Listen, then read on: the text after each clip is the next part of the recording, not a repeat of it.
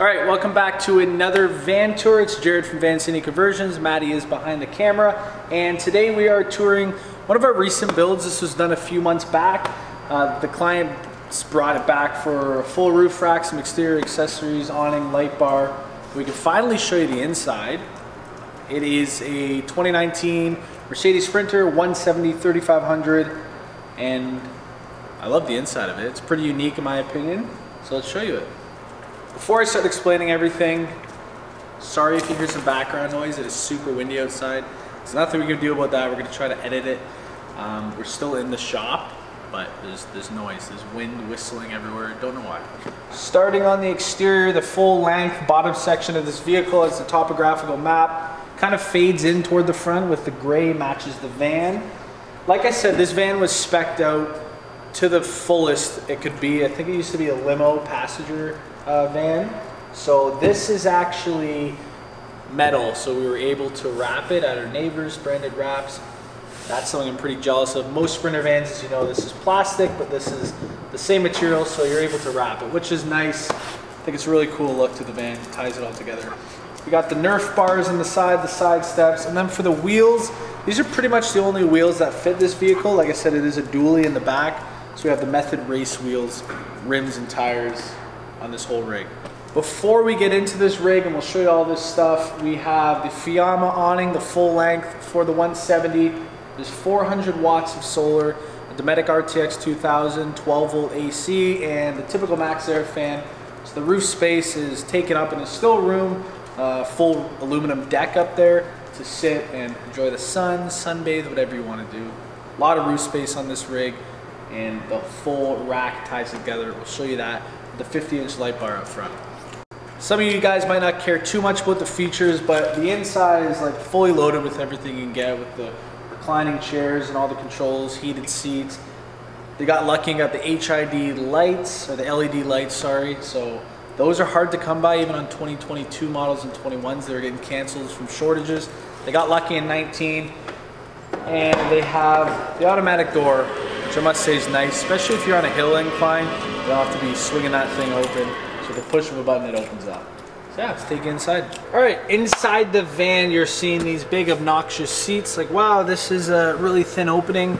These do not stay here. This These were built for 10% of the time they're gonna use them. If they wanna bring guests, they have friends, family, want to go on a ski trip, um, just a few hours away, you do have uh, seats to bring people and they are removable. For the video now I'm going to leave them in.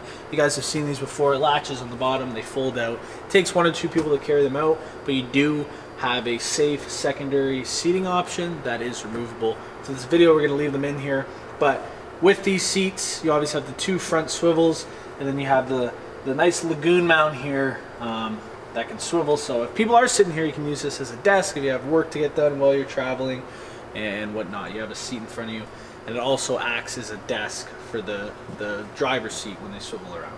Beside the Dometic RTX is two out of the four JBL speakers. They have four JBL speakers in total. They have a full surround sound with an amp and subwoofer as well with the Sony head unit.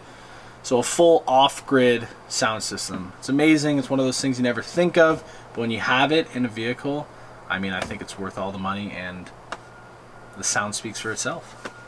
Starting on this side of the van, you'll see something very big in here and it is their fridge. Their whole build was pretty much based off getting this fridge to fit. It was not easy. I believe it's 110 liters. I'll correct myself if I'm wrong. It is the Vitrifrigo Italian-made yacht fridges. They're the most efficient fridges on the market. You get what you pay for. I love them. So they have literally like a full-size freezer in here and a full-size fridge. And I believe one of these fridges can run four days off a 100 amp hour battery, not getting a charge, which is pretty crazy, similar to the Slim 150, I believe. Plenty of storage in here. They loved cooking. One of their things were they want a big fridge. They got a big fridge. Directly above that is their MaxxAir fan remote, the Sony head unit, which these things are hard to wire in off-grid. Keep in mind there's a lot of systems in here. Uh, they're meant to have the parking brake on to work and whatnot. So it took some work, but we got it to work. I mean, if you want, you can watch movies on this thing. I don't know why you would. It's in a bad spot. It's mainly for music, and it's a good spot, central of the van. Got a couple USB chargers here, and some uh, ports you can hook up to display some images on there if you want. And some overhead shelf um, that wasn't being used. good space. You have the bar here to hold everything in. They have plenty of baskets. Some easy to reach things up in there. Use every inch of the van. Speaking of, down below, we had enough room for a little toe kick drawer, which they uh, made good use of. That's under there. Soft closing latches. It's not going to be opening up when you drive. Moving on to the kitchen, they went with uh, bamboo countertops. Uh, I think wood countertops in this van look pretty good with all the white going on. They have the pearl stainless steel sink, the black, matte black pearl faucet, as well as the drinking faucet with three-stage water filtration. So all their drinking water is filtered no matter where they fill up, which is actually a nice feature. Sink is top mounted. A lot of people undermount their sink with this type of wood specifically and it not being like a solid core in the middle. I mean, you can undermount the sink, but down the road it is not suggested. It is not ideal in our opinion. You get warpage and, and whatnot. So top mounted sinks, ideally you'd like to undermount it. We know from experience, not the way to go. Underneath, they just have plenty more storage. Their water filtration, you could sleep under there if you wanted to. A lot, a lot of storage. Uh, they're 20 liter gray tank, which when it's full, you empty it out. We still find that's one of the easiest ways for a gray water system. Moving on to this side of the kitchen, plenty of counter space. They got the two burner propane, full size propane bottle under here. Like I said, a lot more storage, pots and pans. And then touching on the doors here, these are actually finished in a spray booth at our cabinetry shop. Uh, it's cool, it's unique. You don't see it often in vans. It gives you more of a house vibe, which is what they want to go for. And yeah, I really like how it turned out. Plenty of drawer space with soft closing latches, RV Labs latches, lock into place. Not going to open up no matter what roads you go on. Plenty of storage space. It's hard to sit here and open these. I will show you them all on video. Overhead we have the brains of the system. We have their water pump here, which I'm not going to turn on because we are currently winterizing this for them and putting it away in storage. You have their two lights. we have the under cabinet flush mounted lights. And then you have the pot lights for the whole vehicle. You have the water pump, you have an outlet here, and then you also have your hot water timer. So their hot water is on a timer. They have hot water in the rig. You got your upgraded remote for their diesel heater. You can do a bunch of cool things with this. I think I've said it. We've used it in a lot of our builds. You can set timers, um, different different monitors. If you want to run the temperature from here under the seat where the heater is, they do have a diesel heater. Um, and then the fresh water gauge, their Victron battery monitor, monitor all the levels in their system. And then you have the multi-control for the inverter. Pretty much handles the shore power and the 110 in this vehicle. I will point out, because this is bothering me, these little patches here, this is temporary for their curtains. They're currently getting all their custom covers made. Alright, before we get into the overhead cabinets, I'd like to quickly mention the trim pieces. Now you guys are probably noticing this is a passenger van. They come factory with windows. Clients wanted all the windows left exposed, obviously with some window coverings that have yet to be made.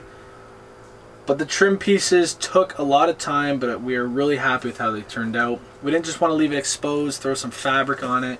Uh, so we took the extra time, made some nice contour black trim pieces, and yes, we kept in mind windows have to be replaced if they break.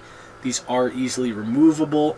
There's no visible fasteners. You can easily pull them off, refasten them, and we just we just love how they turned out. Um, we went the extra mile with those. It was a lot of work.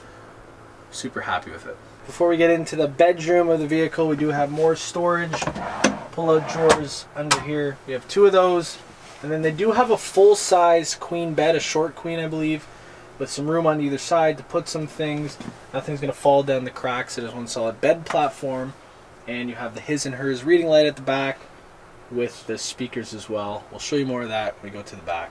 They also have the MaxxAir fan overhead. A lot of people ask about building rigs and vans, having the AC at the front, MaxxAir fan at the back. I personally believe that's the best option. You'll find you use this MaxxAir fan 95% of the time, um, whether it's a bit hot out or even if it's cold and you want to let some heat and suck it through the van. It's it's best to have it over here, over your bed. You're going to be using that when it's summer nights. It's not too hot, but you just want some air. That's the thing you're going to be using. The AC is more central. And funny thing, a lot of people actually use these ACs just to power and cool the back while you're driving. So while you're driving, the alternator is pulling enough power to run that thing around the clock. And sometimes this factory AC struggles to keep up with cooling this whole back section. So that's why you want it more central and toward the front. Full overheads on the passenger side of the van, all locking, soft opening. When you close them in, you pop them in, they're not gonna open unless you do this little motion, they open back up for you. Plenty of storage there all around the vehicle. So that's pretty much your clothes space, some kitchenware up here. A lot of people ask, why don't you do a full overhead on this side? Because there's plenty of room, but we will explain that. This portion on is because you want to still have a spot to sit up in bed. If you had overheads on either side, you couldn't do that, and some people just feel claustrophobic. On this side, we will explain why there's no overheads here. I'll mention it again. Like I said, the clients have not had much time to use this thing. They did some traveling. Winter came. They brought it back. We've been waiting on the rack and all the upholstery items. One of the upholstery items for this, what I'm about to show you, is not yet made, but you'll get the point. I think we can show you this far. You have plenty of counter space here again with the bamboo countertop stained. And then it's hinged, so you open it up here, slide the latch in, you open these up, and you now have your full shower when you step on in there. For this type of build, I think it was best they decided to go with a Dometic cassette toilet so you can move that out when you do want to shower and use the whole space. And you got your full full hand spray here, hot and cold water, all tucked away. And obviously when you're not using the shower, it does make kind of a nice uh, wet storage area. They have the gray water tank under there um, and the shower for their water. So yeah, built a shower into this space and some people like a full-size shower. Some people would prefer counter space. They want a counter space. For the amount you actually use a shower, this is an option, right? So you do have this prep area. Like I said, they do like cooking. So they have tons of prep area, big fridge, sink, and cooktop. All right, let's get into the back of the van, the garage, and some of the sleeping quarters up here.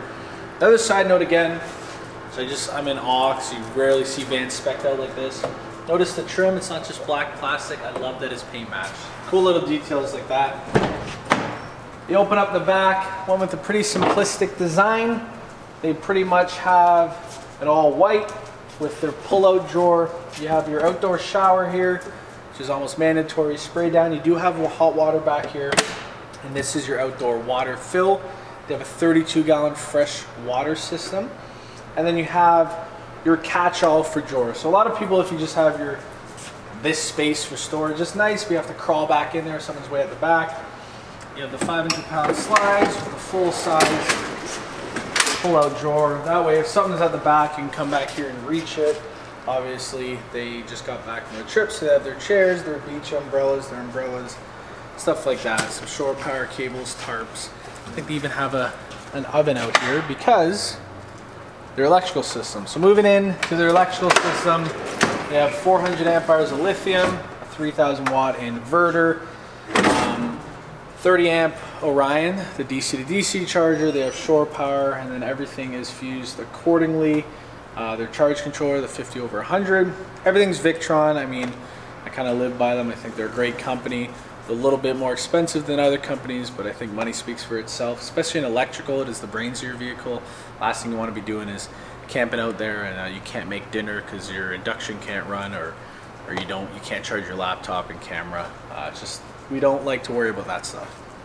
All right and the last thing in this garage we do make it easy. The client should never have to but for us when it comes to winterizing if they're not going to be using the winter or serviceability changing fuses and whatnot you do have the three panels on the bed which are removable if you take out the mattress or each side has a hollow panel can fully take out and then if you look in there you have full access to your electrical and same on the other side with the plumbing. Alright some finishing details in the van, more nice trim wraps all the way around.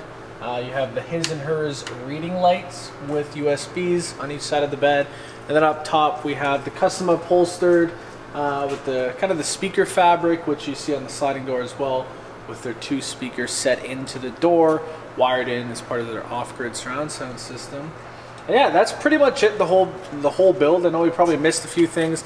Listen, there's thousands of van builds on YouTube. Try to keep it short and sweet. If you have any questions, leave them down below. If you want more information on us and all of our past builds, vanciniconversions.com. Link will be right here and in the description.